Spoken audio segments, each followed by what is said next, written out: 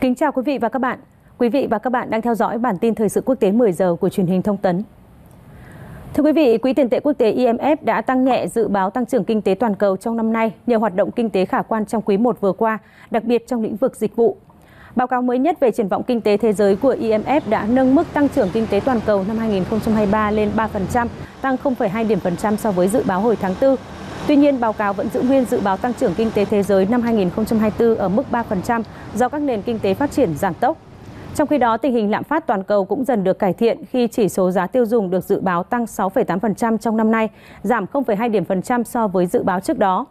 Quyết định điều chỉnh tăng trưởng kinh tế toàn cầu của IMF dựa trên việc lĩnh vực dịch vụ đang phục hồi sau dịch Covid-19 khi các nước đẩy mạnh hoạt động thu hút du lịch.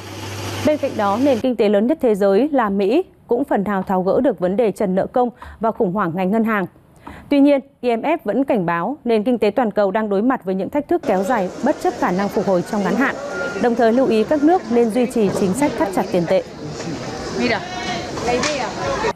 Bộ trưởng Nông nghiệp các nước Liên minh châu Âu EU đã nhóm họp tại Bỉ để thảo luận về vấn đề ngũ cốc của Ukraine sau khi Nga rút khỏi thỏa thuận ngũ cốc Biển Đen. Một trong những nội dung chính của hội nghị là kế hoạch hỗ trợ xuất khẩu ngũ cốc Ukraine bằng đường bộ. Phát biểu họp báo sau hội nghị, Ủy viên Nông nghiệp EU cho biết khối này sẵn sàng xuất khẩu gần như toàn bộ nông sản của Ukraine bằng các tuyến đường trên bộ và có thể hỗ trợ về chi phí. Tuyến đường này gồm hệ thống đường sắt và đường bộ kết nối giữa các nước EU có biên giới với Ukraine như Ba Lan và Hungary. Hiện EU vẫn đang cân nhắc về một kế hoạch chung giúp chi trả chi phí vận tải phát sinh. Cùng ngày, Nga cho biết không can thiệp vào đề xuất của các nước Baltic về việc xuất khẩu ngũ cốc Ukraine qua hệ thống cảng của các nước này. Người phát ngôn Điện Kremlin Dmitry Peskov nhấn mạnh đề xuất trên là quyền chủ quyền của các nước Baltic và Moscow không đưa ra bất kỳ đánh giá về vấn đề này. Liên quan tới vấn đề lương thực toàn cầu, ông Peskov cho biết Moscow sẽ thảo luận về việc cung cấp ngũ cốc tới các nước châu Phi tại hội nghị thượng đỉnh Nga châu Phi dự kiến diễn ra vào cuối tuần này tại thành phố Saint Petersburg.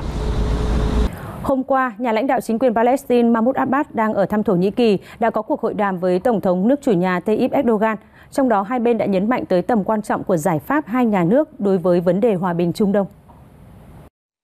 Phát biểu họp báo chung sau hội đàm, Tổng thống Erdogan đã tái khẳng định sự ủng hộ của Ankara đối với sự nghiệp đấu tranh của người dân Palestine và Thổ Nhĩ Kỳ sẽ hỗ trợ hết sức để đảm bảo an toàn cũng như an ninh cho người Palestine.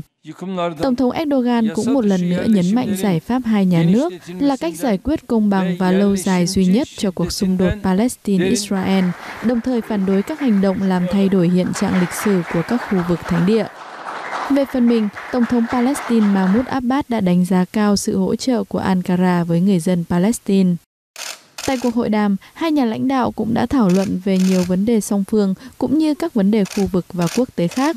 Chuyến thăm của nhà lãnh đạo Palestine diễn ra chỉ vài ngày trước chuyến thăm của Thủ tướng Israel Benjamin Netanyahu tới Thổ Nhĩ Kỳ, dự kiến vào ngày 28 tháng 7. Ông Pedro Sanchez đã được chỉ định là Thủ tướng tạm quyền Tây Ban Nha cho đến khi nước này giải quyết được tình trạng bất ổn chính trị nảy sinh từ cuộc tổng tuyển cử trước thời hạn diễn ra cuối tuần qua. Vua Felipe VI tuyên bố miễn nhiệm ông Sanchez với tư cách là người đứng đầu chính phủ và ông sẽ tiếp tục giữ chức vụ này cho đến khi có một thủ tướng mới nhậm chức. Nếu tình trạng quốc hội treo hiện nay không được giải quyết trong những tháng tới, Tây Ban Nha có thể phải tiến hành bầu cử lại. Theo kết quả tổng tuyển cử trước thời hạn hôm 23 tháng 7, Đảng Nhân dân cánh hữu của ông Alberto Núñez Feijó đã giành được nhiều ghế nhất với 136 ghế, nhưng không thể đạt thế đa số cần thiết 176 ghế tại Quốc hội để đứng ra thành lập chính phủ mới. Trong khi đó, Đảng Xã hội của ông Sanchez đứng thứ hai với 122 ghế, được cho sẽ có nhiều lựa chọn hơn để thành lập liên minh với các đảng nhỏ.